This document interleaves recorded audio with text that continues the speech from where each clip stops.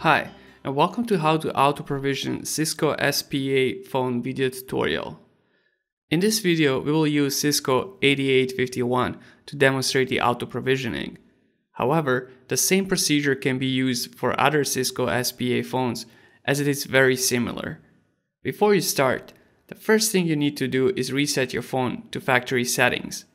Unless your phone is brand new and is currently set to factory settings, then you don't have to do this step. Otherwise, navigate to Settings menu and under Device Administration, select Factory Reset. Once done, select OK to reset your phone to factory settings. It will take a minute for your phone to reset and reboot. After a reset, you will be asked to enter a new password. For tutorial purposes, we will skip this part, but it is strongly recommended to set a password on your phone. When done, you will have to check your firmware version. It is important that your phone is loaded with appropriate firmware version. Different models may require different firmware versions. You can look up which firmware version is supported for your device at wiki.bicomsystems.com slash UADs. To check which firmware version you have currently installed, navigate to Phone Settings menu and under Status, select Product Information. Your firmware version will be displayed under Software Version field. If you have trouble installing the firmware, please contact Bicom support team.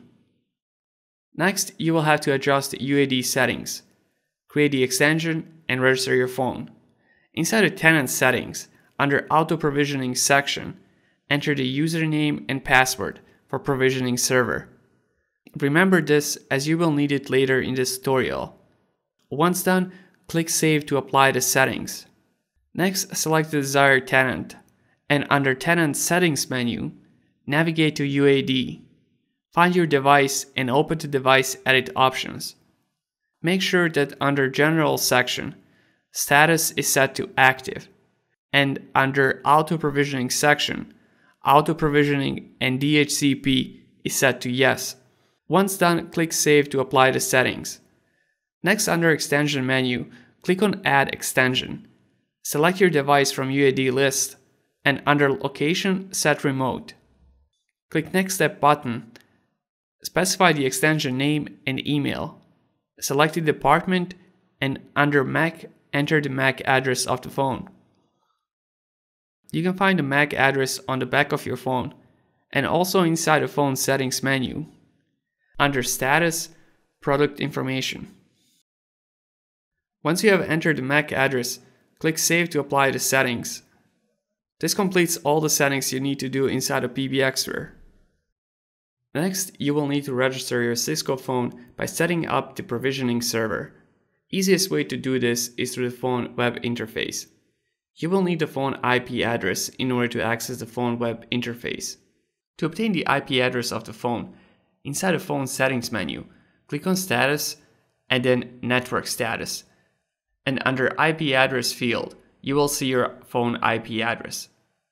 Enter the IP address in your browser, and once logged in, click on Admin Login, and then click on Advanced to enable the advanced settings. With the advanced settings enabled, under Voice menu, select the Provisioning submenu, and under Profile Rule field, you will need to enter your provisioning server username, password, and server address. Start by typing open bracket double dash UID space, then enter your provisioning server username space double dash PWD space your provisioning server password and then close the bracket, followed by your server address slash prov slash dollar sign ma.cfg. Your server name can be IP address or a host name. In both cases, you will need to enter full URL. Once done, click on Submit button to apply the settings. If you have entered everything correctly, your phone will reboot automatically. Once your phone is finished rebooting, you should have successfully registered your phone to PBXware. Thank you for watching this video, and if you need more help, be sure to visit Bicom Systems Wikimedia page.